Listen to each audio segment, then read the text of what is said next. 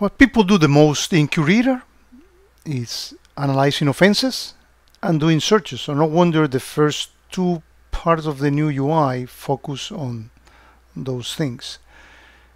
In video number one, we show offenses. Let's actually go with searches. Let's say that I'm gonna be do, I want to do a search on a URL. So let's say I take uh, this URL. I'm gonna go to searches. Take a look at what happened over here. This is a search that I was playing with before. If I paste that search in here, notice that it says, what do you want a quick filter? You want any IP, source IPs, destination IPs. That says is source destination IP. When I click here, boom, I get an AQL sample, so I don't have to start guessing and you know and they look ahead telling me this and getting an error here and there. This is a perfectly built uh, query, and I can decide well I don't want that magnitude column, so I can actually go ahead and eliminate that magnitude. But I want source IP, destination IP, destination port. Uh, you know, it takes the QID and goes to the function QID description, so it gets the full name and put it as event name. Uh, the same thing with the log source, with the ID of the log source, give me the actual name. So, so you get the point.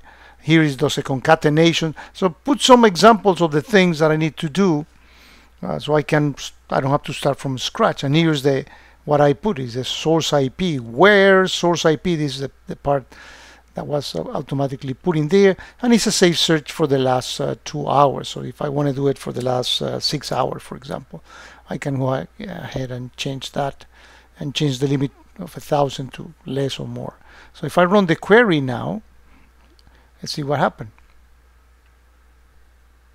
I get all those uh, events for that source IP as we see here and remember in the first video we talked about this having integration with the X-Force.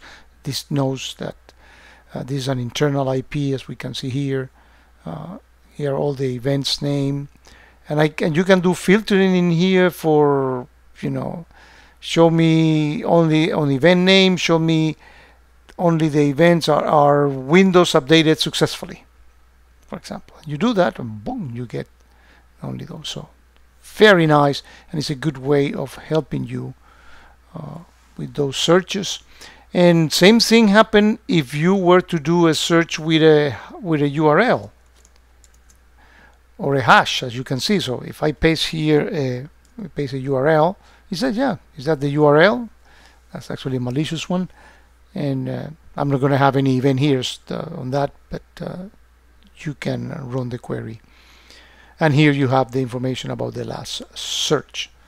Very nice a good way of really getting yourself initiated into AQL once you have this done you can go for example to Pulse to create your nice, nice graph. And in fact there is a version of the latest version of Pulse integrates with the new UI so if I click here I go to Pulse and notice that this view is different. It's actually in the same style of the of the new UI it's pretty cool looking. If I go for example here to a view that I like a lot this uh, summary view you'll see that is the same information but with the new UI very very good looking.